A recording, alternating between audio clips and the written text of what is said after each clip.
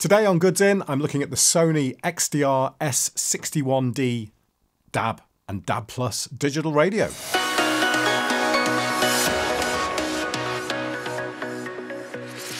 A couple of months ago, I did an unboxing and uh, just a close look around this radio. This is the XDR P1 DBP from Sony, a really sort of well known, very tiny DAB and DAB Plus and FM radio. And it got me looking at the Sony range of DAB radios.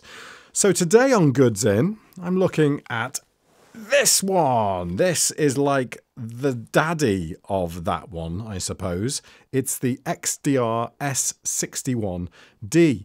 And yes, I've gone for the white version because the black version was on sale at £116, which is £16 above the recommended retail price. The white one was on sale at £80, so I thought, you know what?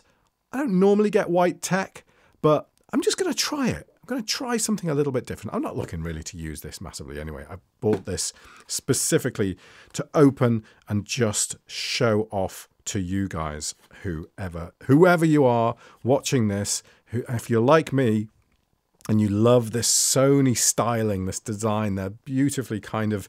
It's almost like it got a bit of kind of minimalist corporate look about it. This uh, Sony. Uh, their Sony design. I, I just love it. Um, a bit less so in the white version, but let's take a look at it. This is a, a DAB again, a DAB and DAB Plus radio. That's really all it is. This one does have auxiliary in as well, unlike pretty much every other DAB Sony DAB radio I can come across. It doesn't have any kind of other connectivity though. There's no Bluetooth on this or anything. Uh, you kind of think you're kind of missing a missing an opportunity there, Sony. You could just put, put something on here around extra connectivity. But no, they keep it simple, and that's fair enough, I guess. So let's see what we have in the box. This was delivered by Amazon today. Literally, like this, left on my doorstep totally open for the entire world to see. Not even in a box, just left. Honestly, Amazon logistics are most of the time very, very good, sometimes horrendous. Today was one of those horrendous days. All right, so as usual, we've got all our so uh, Sony bump that we get in with them. Uh, I'm not going to read the operating instructions, uh, but um, yeah, nothing else in the box. Move the box out of the way. Oh no, there is. Ooh, what's this? Oh, it's the power adapter. Wow, you actually get a power adapter with it. Well done, Sony, on providing me a power adapter and a bit of polystyrene. All right, again, it comes in one of these nice... Mm, yes, this is lovely, isn't it? One of these nice um, bags. I do prefer... This isn't the perfect type, but it's a good size, isn't it? Nice size. I mean, look, compared to the whole box size of this one, it's, uh, it's like loads bigger. But let's take it out and have a look at this radio. There we are. Look at that. Move that out the way. Get this in shot and uh, give you a good look at the radio there. Just a single speaker, of course, so it is naturally a stereo radio. Um, and wow, my camera's having trouble focusing. It's having trouble finding anything to focus on the radio. It's so so bland and simple the design. And uh, this is the nice rotary control there. That's really nice, really nice feel to that. Lovely. Just push, push to execute. I assume whatever you know. You just select what you want. We'll power it up in a second and take a look. Four buttons there, and on the top we've got our five preset buttons. Wow, well done. They give you five this time. Nice metallic look power button. Is it actually metal? That mm, Yeah, it could be actually.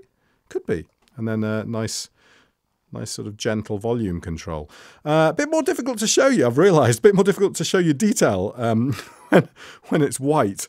Maybe that's why I never buy any white tech, because I can't show it on camera. But really nothing to it. Look, left-hand side, completely blank. Right-hand side, completely blank. The back is virtually blank, nothing to it at all. Apart from here, we have a headphone out and your auxiliary in, and then a power input as well, which is a 5 volt in at the back. And alternatively to the 5 volt, you can use four AA cells as well. So this is, you know, totally portable, which is nice. And I better grab some AA's, hadn't I? Because that's what I'm going to need to power this up now.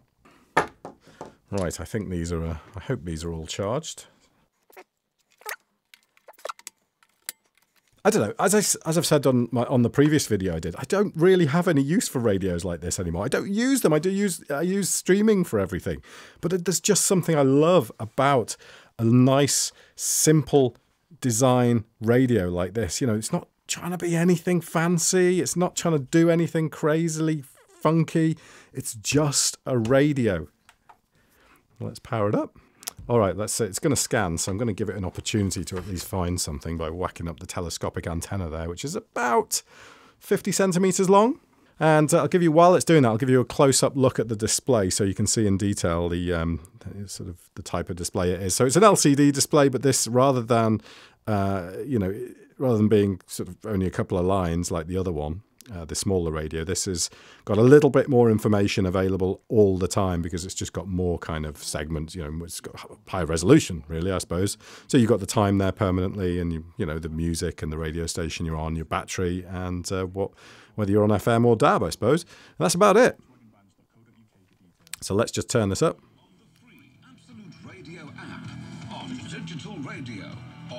your smart speaker to play Absolute 80s. Brilliant. On your smart speaker, play BBC Radio Bristol. And on your radio.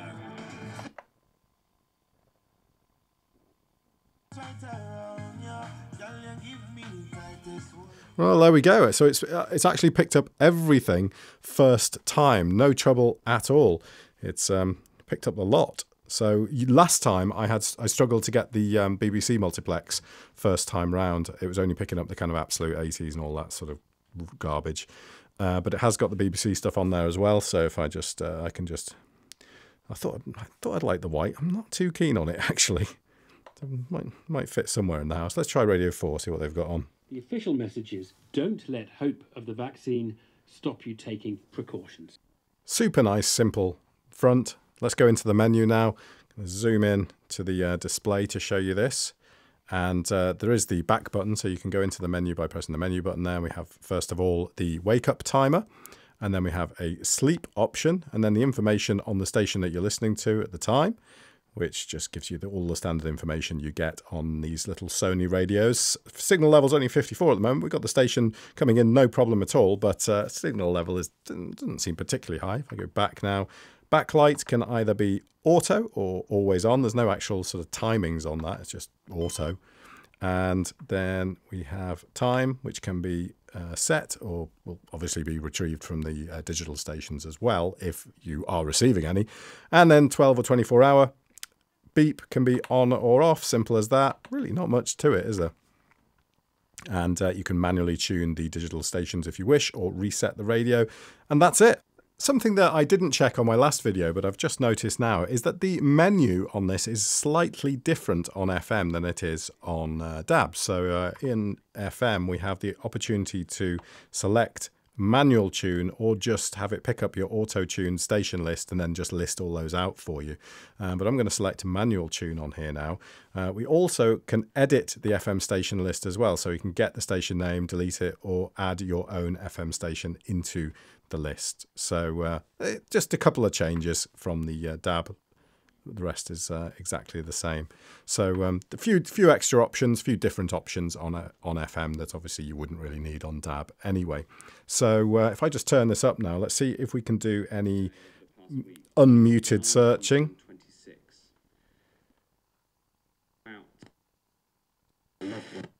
No. So you're still left with that huge delay between each search. Oh, probably over a second between each search. I just wish you could have a manual unmuted search of FM so you could just scroll through it like almost like a sort of old school radio and find the stuff that you want. But no, they always put they always kind of mute it as you actually kind of tune. So uh, a bit annoying that they do that, but it's always been the way with uh, most digital radios. And um, there are only a few that I've come across that have ever had that unmuted or an option to unmute that. So lovely display, like it. Uh, everything's really, really clear on there. I mean, look at that. Even when the even when the backlight goes off. Just how beautifully clear these uh, LCD displays are. Just love them. Let's test how long it takes to power up. So here's the power button on the top. I'm just going to press that now.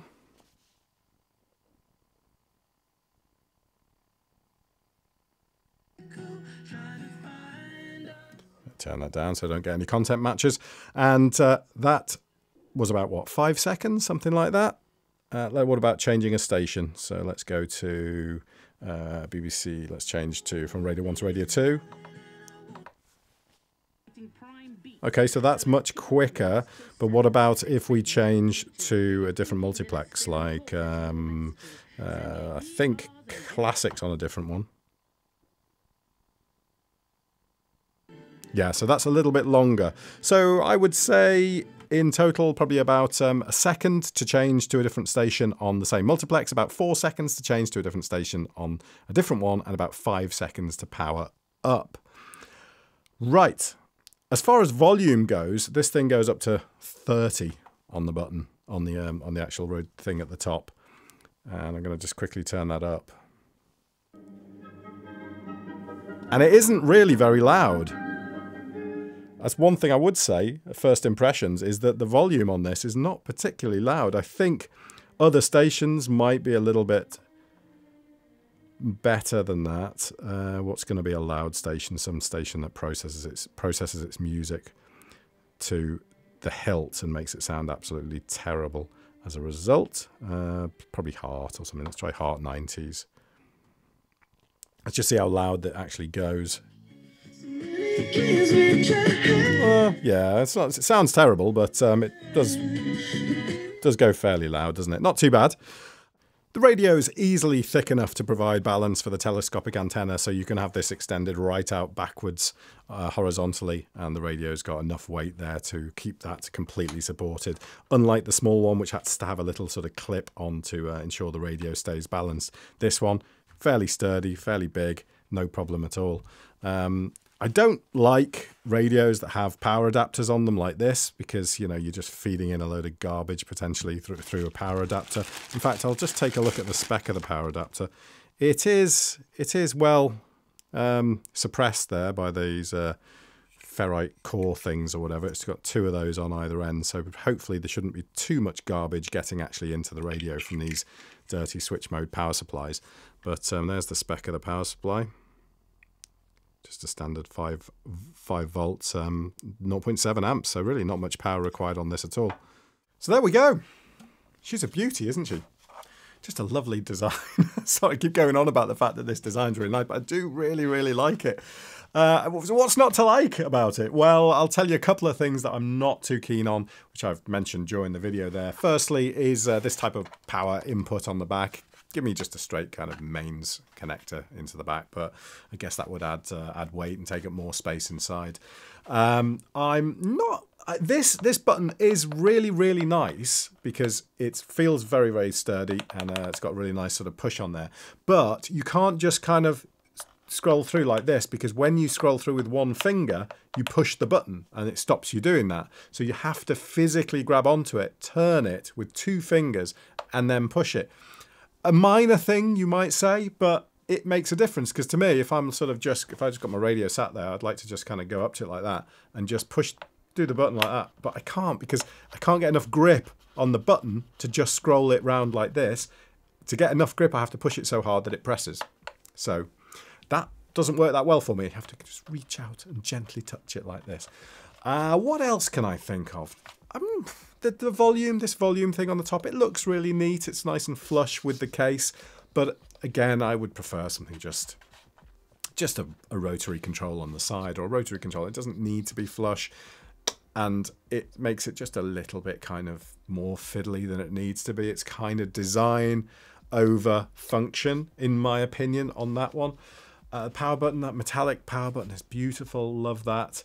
The sound quality on this is is excellent. It's got like a decent cabinet to it.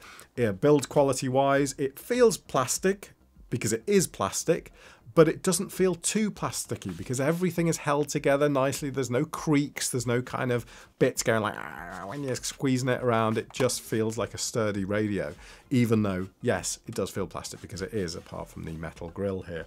Display is lovely. Four double A's to use it, no problem there. Audio in, yeah, they missed a trick with not having any kind of Bluetooth connectivity. Probably would be nice with a, a uh, on a radio of this price because this comes in at retail price of £100 for this radio. You would expect either Bluetooth, potentially even internet connectivity for that kind of money. But being a Sony, I reckon this is going to last you and is going to it's going to be pretty sensitive compared to other radios as well. So as as a radio, which probably is what you want it for, it's going to perform better than many other cheaper alternatives out there. I like it. Sony coming up with the goods again. Let me know your thoughts in the comments. What do you think of this radio? Do you like it? Do you like their designs in general? Have you got any of these? Have you got the smaller one? Have you got this smaller one that I was looking at just a second ago? Let me know. And thanks very much for watching. See you soon. Bye.